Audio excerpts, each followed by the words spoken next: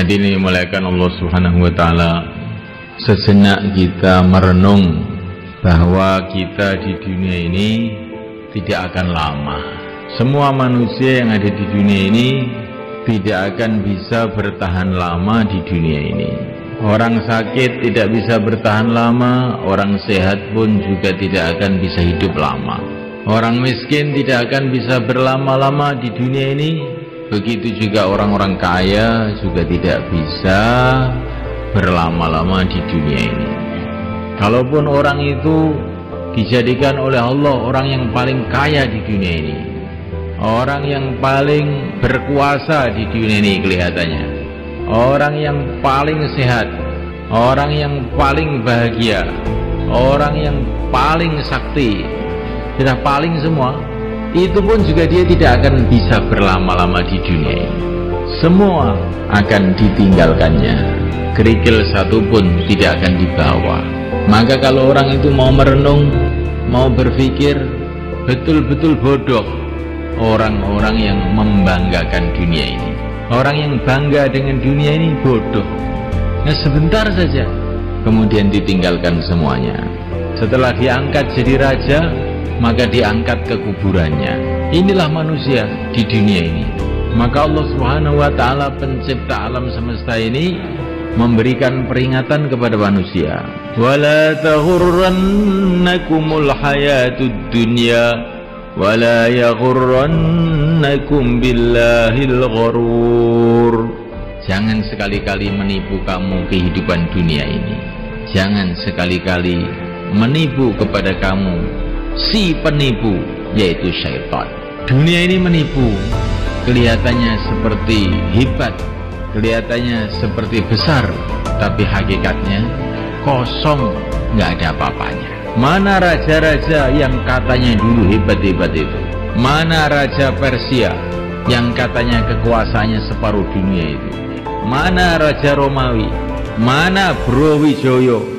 Raja Majapahit Mana patihnya yang namanya Gajah Modo? Di mana? Seolah-olah tidak pernah hidup di dunia ini.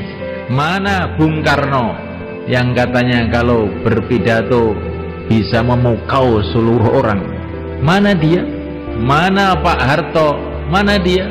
Mana Gus Dur? Di mana dia?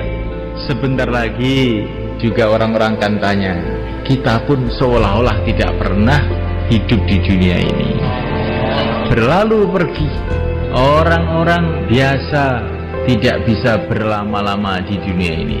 Orang-orang yang luar biasa pun juga tidak bisa berlama-lama di dunia ini. Sampai orang-orang suci para nabi para rasul alaihi wassalam pun juga tidak bisa lama di dunia ini. Karena apa? Karena memang manusia diciptakan oleh Allah bukan untuk dunia ini. Masalahnya ini manusia diciptakan oleh Allah adalah untuk kehidupan akhirat yang selama-lamanya. Sedangkan dunia ini fungsinya adalah untuk ujian. Tabarakalladzi biyadihil wa huwa ala kulli syai'in qadir. Alladzi khalaqal mauta wal hayata liyabluwakum ayyukum ahsanu amala wahwal azizul ghafur. Kehidupan dunia ini Allah jadikan untuk ujian. Allah hendak menguji ayyukum ahsanu amala mana yang paling baik di antara kamu amalnya. Tapi kita harus paham Allah menguji itu bukan karena Allah ingin tahu. Allah sudah tahu segala-galanya. Tetapi Allah itu menguji supaya kita ini loh tahu supaya kita tahu siapakah orang yang baik amalnya siapa yang tidak baik amalnya. Supaya kita tahu siapa yang layak menjadi kekasih-kekasih Allah masuk dalam surga Allah dan siapa yang tidak. Dunia ini diberikan untuk menguji kita. Maka Nabiullah Sulaiman alaihissalam diberi oleh Allah kerajaan yang luar biasa kekuasaan yang luar biasa. Rakyatnya itu dari kalangan manusia kalangan jin bahkan binatang-binatang pun menjadi rakyatnya. Bagaimana kehebatan kerajaan Nabi Sulaiman? Tapi Nabi Sulaiman paham bahwa ini bukanlah satu kesuksesan. Ini ujian. Ada min fadli Rabbi liyabluwani aashkuru am akfur. Ini adalah anugerah Tuhanku karena hendak menguji Tuhanku hendak menguji apakah saya syukur apakah saya kufur. Di orang yang miskin itu juga diuji oleh Allah. Orang yang kaya itu juga diuji oleh Allah. Orang yang sakit itu diuji oleh Allah. Orang yang sehat itu pun diuji oleh Allah. Semua dalam ujian. Siapakah yang lulus? Orang yang dalam keadaan sakit, keadaan sehat, keadaan kaya, keadaan miskin tetap istiqomah hatinya bergantung kepada Allah, istiqomah menjalankan perintah Allah, istiqomah menjauhi larangan Allah. Inilah orang yang sukses. Kalau orang kaya, hatinya istiqomah bergantung pada Allah amalannya istiqomah dalam syariat Allah perintah-perintah Allah dikerjakan larangan Allah ditinggalkan maka dia lulus kalau orang miskin mengkis-mengkis sakit-sakitan tapi hatinya senantiasa tawajuh pada Allah amalannya mengikuti sunnah Rasulullah seluruh larangan-larangan Allah ditinggalkan ini orang sukses kemudian tidak lama dihantar menuju tempat balasan tempat kemuliaan yaitu surga Allah Subhanahu wa taala. Semoga termasuk kita. Orang yang merasa sukses dengan dunia ini sedangkan dia imannya lemah atau rusak, amalannya rusak. Maka itu seperti anak kecil masuk ujian SD. Dalam ujian SD itu oleh gurunya anak kecil tadi dikasih kursi yang bagus, dikasih susu gurunya tersenyum-senyum sehingga anak kecil tadi salah paham saya sudah sukses saya. Padahal waktu soal-soal ujian itu dikeluarkan satu nomor pun nggak bisa jawab. Nilainya nol. Terus dia pulang ke rumah ditanya sama ibunya bagaimana nak? Ujiannya Alhamdulillah sukses bu. Kamu kelihatannya nggak pernah belajar bisa sukses. Iya saya ini memang orang sukses bagaimana ceritanya? Ceritakan sama ibu. Tadi kursinya empuk bu. Dikasih susu sama pak guru. Dan pak guru senyum-senyum saja. Teman-teman juga melihat saya semua tersenyum. Maka saya sukses. Bisa nggarap soal ujian atau tidak? Nah, kalau itu nggak bisa bu. Nah, nggak bisa.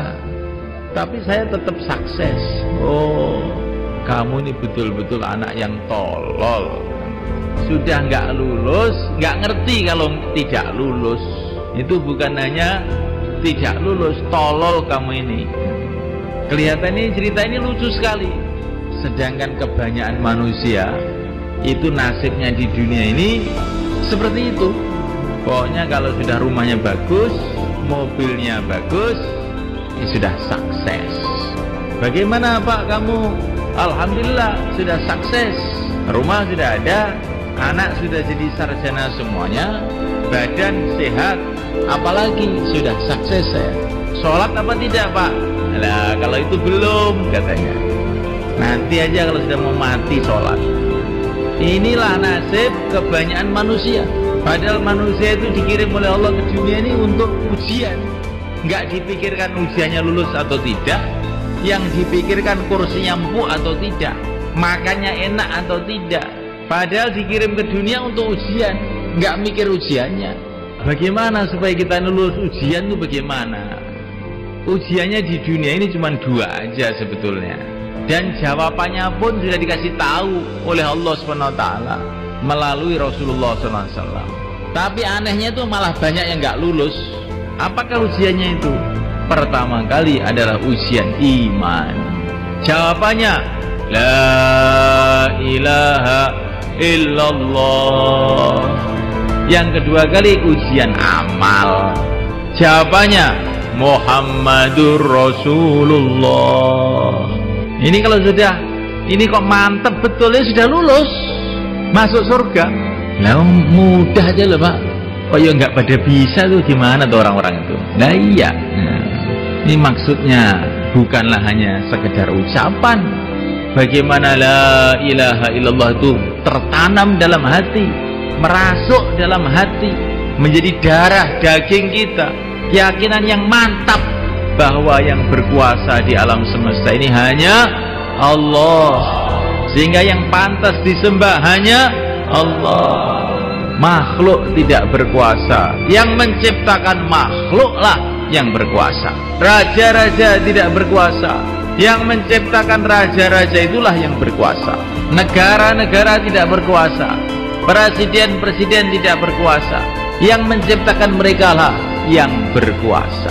La ilaha illallah. Yang kelihatannya dari makhluk hakikatnya bukan dari makhluk. Yang kelihatannya dari makhluk itu sebetulnya dari yang menciptakan makhluk la ilaha illallah. Kulun min indillah. Semua dari Allah